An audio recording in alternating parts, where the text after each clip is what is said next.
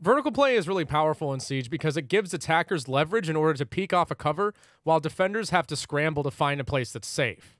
A high traffic area on any site is going to be the main rotate. In this case, between service and kitchen here on coastline, you can see the angle that I get on the kitchen rotate is going to be pretty effective for cutting off, especially maybe a who might be posted up on a reinforced wall here.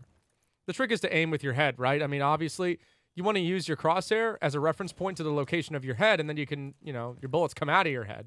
Then it makes it easier to take gunfights with, right? Anybody who's playing on this position doesn't really have any cover unless they swing out here and maybe get shot from a service door guy, or they just run away entirely. You don't want to peek angles like this, right? Because then it just exposes the shit out of you. You don't have any cover. Peek at shallow angles, concealing your body. Remember that vertical play isn't exclusively for getting kills, it's for creating pressure and making defenders take bad positioning. Nice job.